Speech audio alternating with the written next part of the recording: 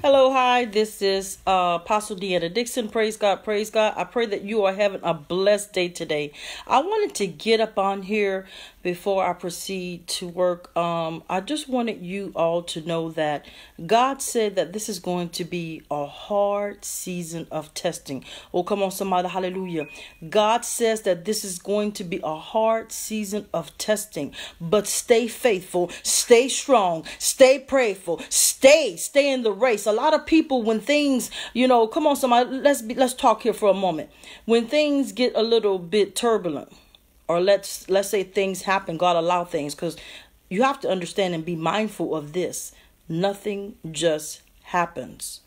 God is always working. Oh come on somebody romans 8 28 and i want you to hear me this morning all things work together for those that love the Lord and are called according to his purpose.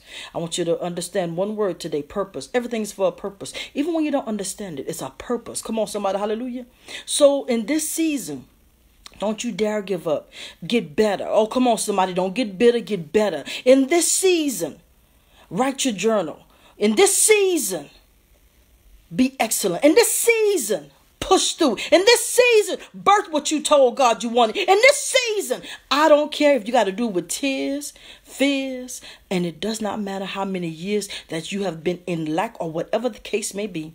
Because when I say that God says that this is going to be a hard season of testing, you have to understand what kind of testing I'm talking about. Testing of your character, tenacity. Come on, somebody. Have you ever wanted something so bad? Oh, come on, somebody. I'm not talking about just a job, a house, a car, a man, or a woman. Have you ever saw it right before your eyes? And God, I don't know how I'm going to do it. God, I don't know if I have the strength to do it.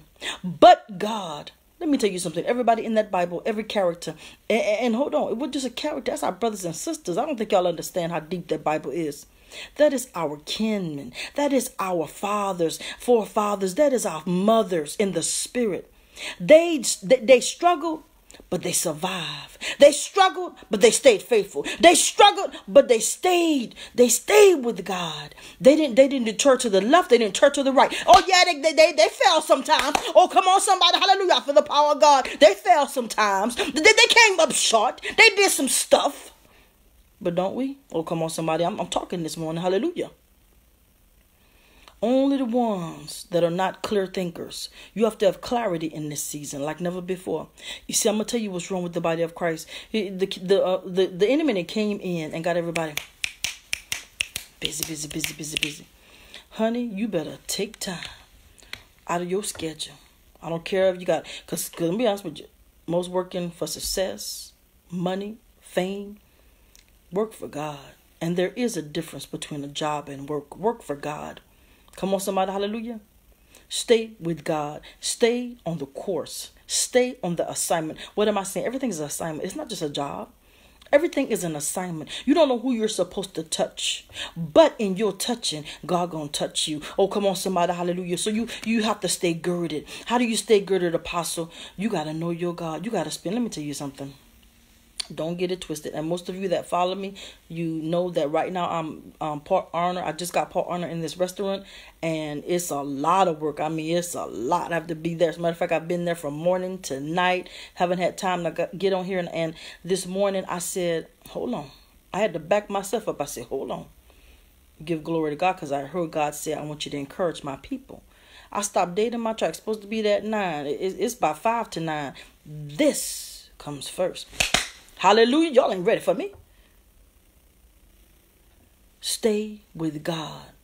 When things seem to be turbulent and it gets too much for you, pull back and pray and say, God, I need you. God, I thank you. God, I hear you. God, I trust you. God, I love you. Hallelujah. That's what this is about. Don't ever let anything get between you and God. I don't care how big.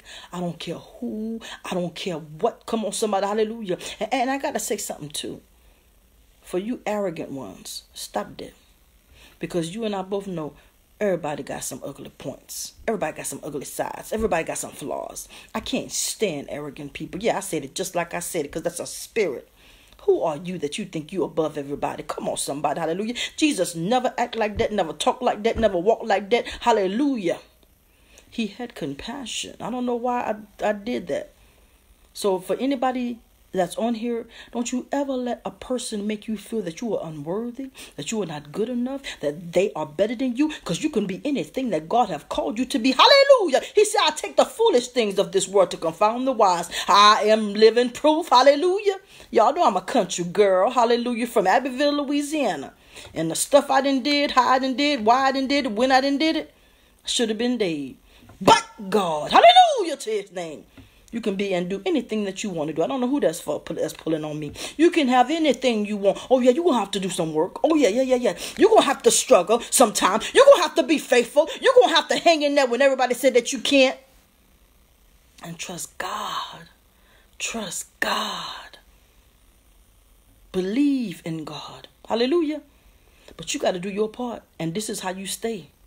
This is how you make it through the tough times, through the painful times, through the times you feel alone, defeated, or anything. That's a spirit. You got to stay with God. God, I know if you brought me to it, you'll bring me through it. God, I know you're not going to leave me. God, I know this is a test. And there are sometimes when there be a season of hard testing that you will feel like God is not even with you, that you feel like you are missing it. Hallelujah. Let me tell you something.